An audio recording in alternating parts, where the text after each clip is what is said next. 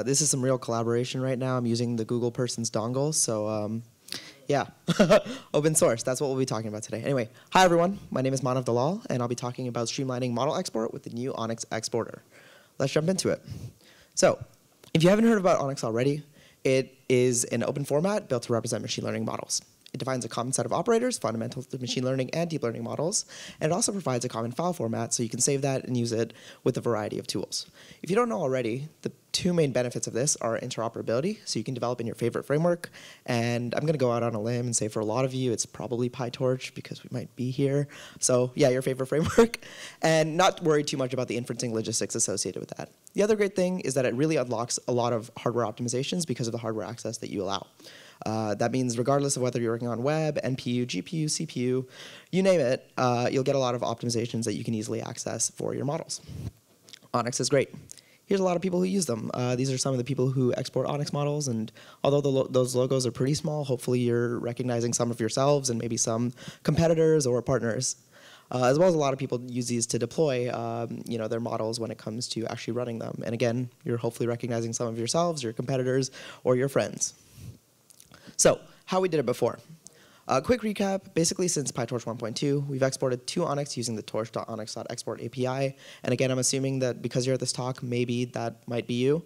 Uh, there's a lot of issues with this old API. So TorchScript tracing through the torch.jit trace API is leveraged as the model executes to produce a static graph.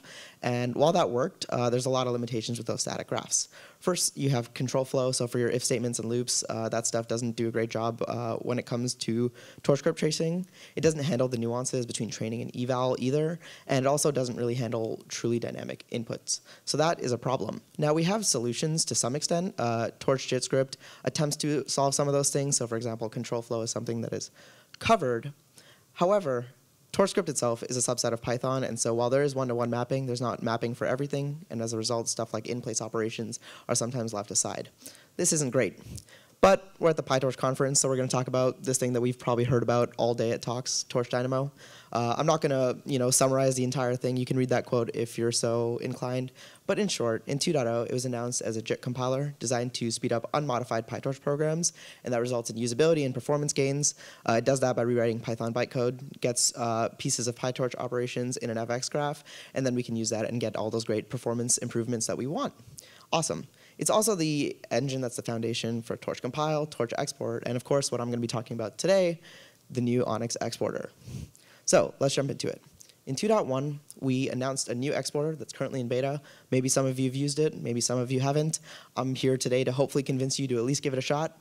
Uh, it looks kind of similar to the old API. It's a little bit more complex though. You can uh, have your torch NN module, which you input as well as the args related to that module for exporting purposes. Oh, that's louder. And there's also a new uh, uh, query, which is export options, as well as you can add kwargs a little bit more directly, so that's a little bit simpler to do. Uh, so by leveraging Dynamo to capture this graph, it's a lot easier to produce an ONNX equivalent to that graph, and the dynamic nature of these models can be preserved. Whereas previously we had static graphs, we can now have dynamic graphs, which we can use for a slew of benefits. So ONNX functions are also used to encapsulate these operators and NN modules, which means, again, we get more information, and we can use that later for performance improvements and just general improvements, as well as better legibility for these models. Uh, it removes a lot of complications and it makes it a lot simpler. But you know, you can hear that from me, and that means one thing. Let me just show you a quick example. So Hopefully this, yeah, okay, great, it's showing up pretty well. But you can kind of see the different graphs over here. So on the left, we have that old static graph, which is fine and works when you're uh, exporting models, and again, is somewhat optimized as well. But on in the middle, you can kind of see what that Torch Dynamo graph looks like now. There's a lot more information, and all of your operators are, are captured in functions. This is really useful because they actually, uh, once you see inline, like you can see there's so much more information that's captured. Uh, you get a lot of data types that are supported. It's all the data types that are supported by the ops instead of just that one that you exported the model with. This is, again, really useful for optimiz optimizing later. Uh, and you just get a lot more information, which is, again, useful later. So let's talk about the highlights of this new API that we've worked on and we hope that you use. So as I mentioned earlier, we have that optional, that optional export options, and there's a lot of things that you can do with that. So First of all, there's the ONNX registry, which allows you to configure ATen decomposition. You can prescribe ATenIR to ONNX operator, and you can do that mapping. And then it also provides three APIs for three, or like it, it, it provides APIs for a scenario that's pretty straightforward. which is handling unsupported ATen ops, custom ops with existing ORT support, and custom ops without ONNX runtime support. So in the first two cases, you're able to provide those operators. You can write them yourself in ONNX script, which I'll touch on in a second. Uh, it's a little bit of a language, but you can basically write those languages or, or those operators and specify uh, how you want them to be written out if they're not available. And in the third case, not only can you write the operators that are custom, but also you can write the ORT kernels that are required to register uh, those ops. We also have fake context, so that's thanks to Meta's fake tensor. Uh, we can export a model without loading all of the weights and then running the model later on hardware is possible. So what that allows is, you know, commute's pretty expensive these days and it's hard to always get enough compute to do what we need to with these models. But with the fake context, what we're able to do is export that on a really simple machine and without actually running the model. And what that means is that we don't have to wait so long on getting these models that are exported and ready to run.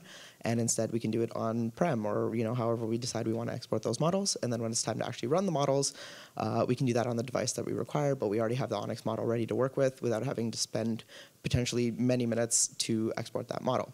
We know we ran into issues previously with the TorchScript exporter um, when it came to these big models, especially, you know, everyone's talking about Llama these days. It's a big model, and yeah, we run into memory issues. But with fake context, you don't have to run into those issues. And another thing that we noticed with our old TorchScript exporter was that debuggability and self-serviceability weren't great, so that's something that we, me as the PM of the team, uh, made sure that I, I was really emphasizing when it came to making sure that this was really easy to use. So there's a lot of diagnostic and self-serviceability options so that when you run into errors, because you might right now, it's in beta, it'll be really easy to figure out what to do or how to solve these errors. That's something that we really care about and something that we built into it. Now, after you've run this, this on a model of your choice, you get the export output object. And this is an object that's in memory, and you can kind of reason about it and kind of mess with it with the model proto property, which you'll get on that object. So you can look at it, and eventually there'll be great options to make changes and performance updates to that. Also, obviously, you can just save it to disk as you would with any other ONNX model, and that's a really straightforward process as well.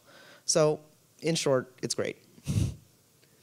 ONNXScript is what I was talking about earlier when it came to implementing new ops. So this was announced as an open repo uh, probably a couple months ago. You may have read a blog about it. You may not have. Uh, in short, it's an idiomatic, simple way to author functions. Uh, in my experience, when you're working with ONNX previously, it was a really challenging thing to do. I know, like having written my own ops, it's it's a pain. Now it's really straightforward. Uh, here's a clamp max operator, which hopefully you can read. Uh, if you can, you can see the code is somewhat straightforward, and that is as a result of ONNXScript making that really easy to do. It's also the basis of the registry of the new exporter, so all the ops that we wrote in Dynamo were through ONNXScript, and so we're really investing in this technology because it's really straightforward and really easy to do, as well as very legible for people slightly less technical, and so it's really easy to go about. You can also directly author ONNX models entirely using ONNXScript if you so choose. Um, that's up to you, but it's an option. Looking in the future. So we're obviously, just like about everyone else has mentioned, of course, uh, over the course of uh, the talks today, we're going to be integrating directly with Torch.export, and that's really important to us. Another thing that I mentioned, um, we also want to work for ahead of time stuff, so ONNX to ONNX transformation and optimization tooling will be coming soon to help leverage these models. Uh, yeah, we expect this to be hopefully used by a lot of runtimes. So before I get into questions, I'm just going to leave this slide here so that you guys can look. There's a lot of links. You can use the aka.ms links or download the presentation later to kind of get started. If you're really eager, you can just jump in with pip install torch ONNX scripts and ONNX runtime and get off to the races. Thank you so much, and I would love any questions if you have any.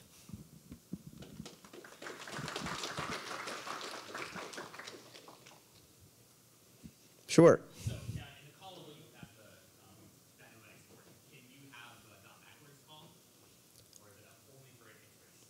Right, right now, just, just for we're working on it. It's a lot, yeah. So between the new exporter and the ONNX work, Mm -hmm. are you expecting to reach 100% exporter success from Torch to ONNX?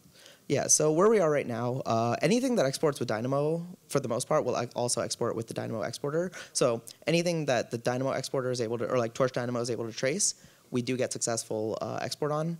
There are some graph breaks and there are a couple niche ops that aren't totally implemented, but we're very close to the way there. And we're tracking this weekly as we make iterations on the exporter. So we're getting better and better performance week over week.